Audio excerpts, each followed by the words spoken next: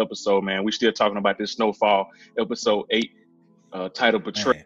I got my boy Wallace with me from the town. Yep. We've been Yep. We in here. continue to break this thing down, man. This was a you know, a very a very intense episode. I think probably one of the better episodes this season. It continues to level up each and every week, and this week Every it, it, it delivered, man. So you know, let's go ahead and get this thing started, man. Wallace, man, let, talk to me. Let's go. Which Man. Hey, bro. This like you were saying, man. This one delivered, bro. Even from the jump, when the nigga Franklin was like, would he say? Let me figure it out, like I always do." How whatever you say, he told Jerome like, "Nigga, nigga, just let me figure it out." Hey, he was, hey, he was on, bro. It was, hey, he was on. So yeah, like you were saying, the motherfucker was uh, this this show was off the hook. A lot of shit going on. A lot of shit that uh, they they up the ante on this. But I was like, man, how can they? I didn't see I didn't see it coming. Yeah, like man, they keep leveling up. Like man, okay, the writing, the writing on it, the, the directing on it, everything, bruh, yeah, like flawless. like you said, like you said, Franklin, man, heavy as a head to wear the crown, man, and, and right now it's on, it, he wearing it, bro, and it's, it's heavy, man, because like he's like, man, everybody, and the thing is, he had to let everybody know that was because they was at the club and everybody just kind of bitching about themselves. He was like, look, yeah, they ain't looking for y'all. They look, they Yeah. gonna gonna be about me, which is true because you know what I'm saying. I didn't I didn't realize the article had already came out. I thought she was writing the article and they was gonna post it in this episode, yeah, but they had already, you know what I'm saying. It must have had already went public in the paper, and now everybody yep. the, the blowback from it. And he's like, you know what I'm saying, like, look, man, haven't I always taken care of y'all? You know what I'm saying? I'm, gonna- I'm gonna be the one to take the bullet. Like it's gonna, it's gonna always be me. You guys, they don't know nothing Mhm. about you guys. You know what I'm saying? It- it's talking about me. You know, his son basically. And so she kind of like outed them, but then out him. They she didn't put no names on it. And like I said, like we said in the last episode, man, uh, they knew it was gonna come to it was gonna come back on her because ain't no way in the world that she gonna be able to put a story out like that and not get no blowback from the, the people in Washington she, she already knew what was gonna happen, and her husband told her, ex-husband told her about that. Man, she was like, "Oh, you're gonna be her protected. Like, you can't protect. It's, it's, stuff like that's gonna explode on everybody. Everybody's gonna, Everybody, bro. She ain't she wasn't even thinking about that. She was just thinking about the glory, oh, the I don't know what the Pulitzer Prize and all this old shit.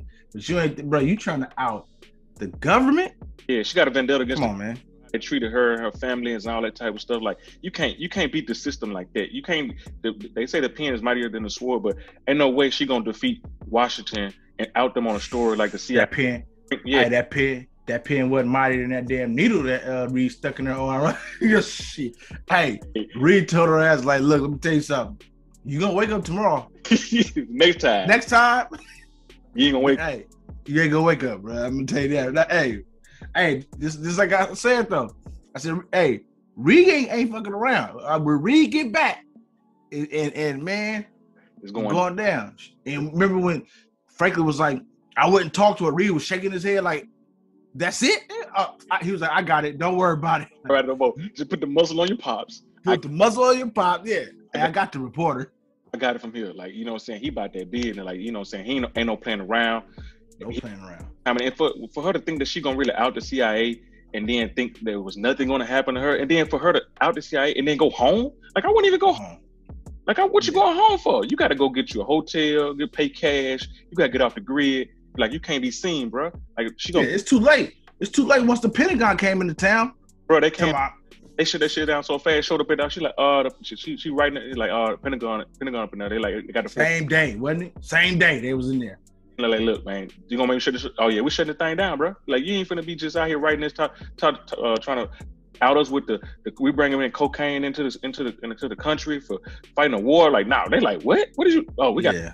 get on top of this rat now. White House on the line, Pentagon on the line. Like, that's it's real. It's real now.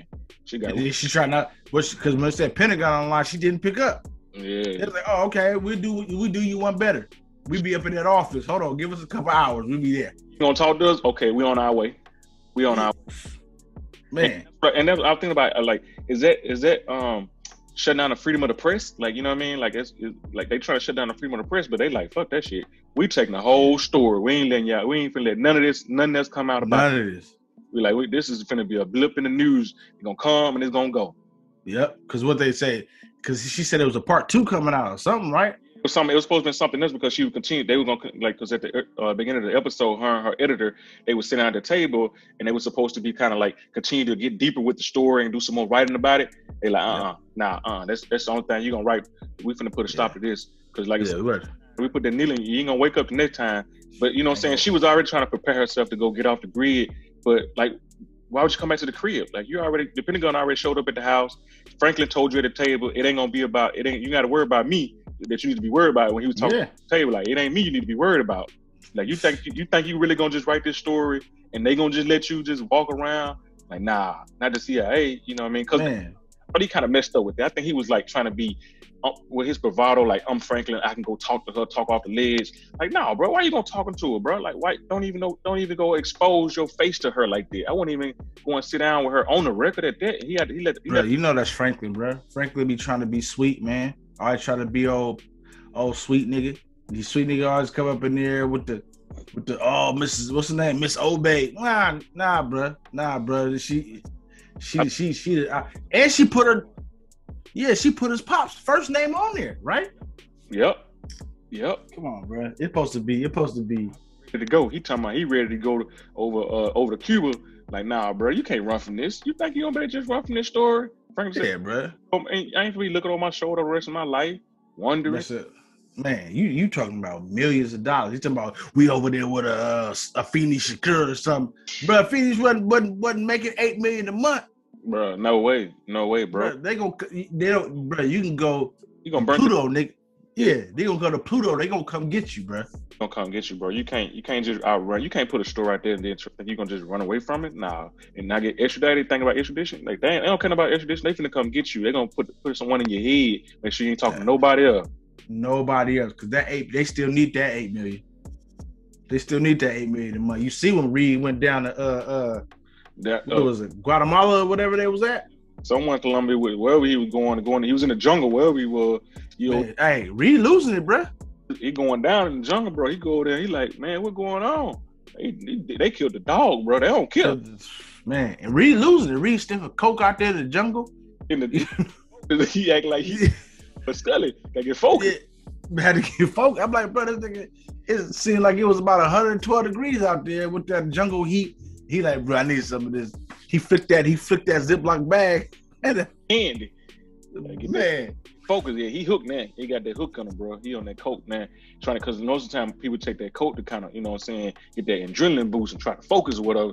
And he out in the jungle, he didn't got that knocked out. That woman hit him with that bow. hey, straight the eye, bow. Didn't even see it coming. Didn't see it coming. He on the on and ah with the bodies on the ground, looking at the dog.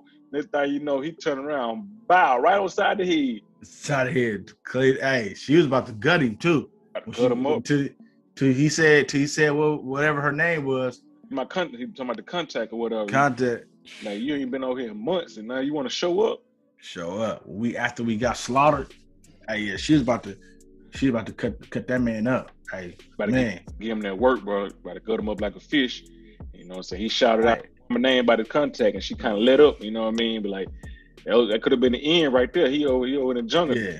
Same time, you see back at the back at the crib, Gustavo ain't going with the other little agent show up. He showed up like, oh yeah, I'm finna just run upstairs. Bruh, I was just finna say that. Hey, Gustavo didn't say one word. That boy put that 38 on that table. Bow, let's on table. Said, hey, Teddy work Teddy. He, he does. I don't like. You're like, uh, hey. he's like, I'm finna go. I'm finna get the keys. Whatever. Do you not have a key? Like, go, go do what you gonna do. He come back, man. I gotta get in there. Where you at? He like, he pulled that, pull, he put that thirty, pow, pull it, pull that check, pull that hammer back. Let went click, click. Oh boy, got nobody beating me. Yeah. Hey, he said, you know, hey, this, this, like, this, this, this is what the conversation gonna be right here. You see that thing on that table? Like you said, I pull that hammer back. You know what the next, you know what the next thing gonna be. Click, click. And old boy got on body beating. You know, Gustavo ain't in there playing. But you know what I'm saying? I, I thought there was a, uh, when I saw the when I saw the title of this episode, man, I knew it was something going down. I knew it was about this chick. I knew it was about Franklin chick. I just knew man. it. This is the episode that coming out that who she yeah, was. She was she was real sloppy with it. She was real sloppy with it. I know pressure was on that pressure. Man, boy started putting that pressure on it. You know what I'm saying? Putting that pressure on it because you know we talked about this in a, a couple of episodes ago when they was in the room and he asked her about her brother, and she was like, "Nah, you know, I got care of everything handled. But then we figure out in this episode where Man Boy got the, he pulled the strings on her with her brother. You know what I'm saying? Mm-hmm. So we, we, we, you know what I'm saying? We can deal him in the jail. We'll take care of him and get you. So she spooked. So now she working for she working for Man Boy, but Franklin ain't no fool. He ain't really getting her no information. She just around there trying to play Mr. Goody Two Shoes and trying to suck up to him. He still ain't giving no info. And then like episode the last episode where we talked about where you know we kind of talked about where you know they was riding and then they, they was riding and the boys pull up be like, oh, that's Man Boy boys right there. You know what I'm saying? Because you know he told Peaches that like when they follow, he's like from the club. Yep. yep. So he knew. So it just like the whole, it kind of all came together in that one little scene when you know what I'm saying when Franklin kind of got that aha moment. Because she she that's what I said she was sloppy at the end because Franklin